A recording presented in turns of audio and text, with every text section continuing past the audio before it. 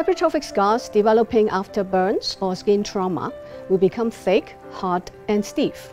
If it is over the joint area, it will cause deformities and contractures, thus limiting the daily living tasks. The contracted hypertrophic scars will limit the movement of the joints, thus leading to stiffness and sometimes leading to disfigurement and deformities.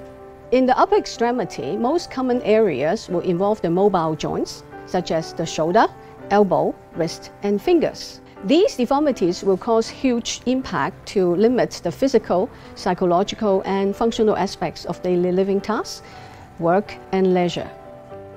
It is therefore vital to start the scar therapy program as early as possible when the wound heals up.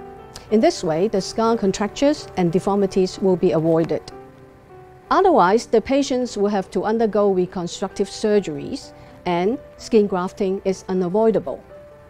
Prevention is often better than cure. Early positioning of the patients are vital as soon as the patient's conditions become stable. Early wound healing and management is essential to avoid delayed wound healing, thus affecting the growth of hypertrophic scar. Once the wound heals up, it is time to start the scar therapy program. Pressure therapy and silicone therapy are recommended by ISBI as the first-line conservative management of hypertrophic scar. It will help to reduce the scar thickness, pliability, maintain moisturization, and facilitate early maturation of hypertrophic scar. The invention of Smart Scar Care Pads combine the effect of pressure therapy and silicone therapy. It will help to optimize the treatment effect of hypertrophic scar. The Smart Scar Care Pad is composed of a medical-grade silicone gel layer and on top silicone stiffener. It helps to optimize the pressure on both the concave and convex area of the body.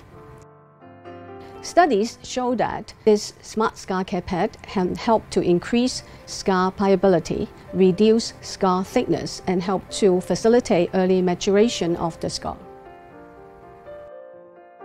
Today we will demonstrate how we use the Smart Scar Care Pad to apply to different body parts, particularly on the upper extremities, and how to maximize the effect of scar management using both pressure therapy and silicone therapy techniques. General information on the wearing regime, precautions, and cleansing method will be demonstrated. If you're interested and have further inquiry, please visit our website.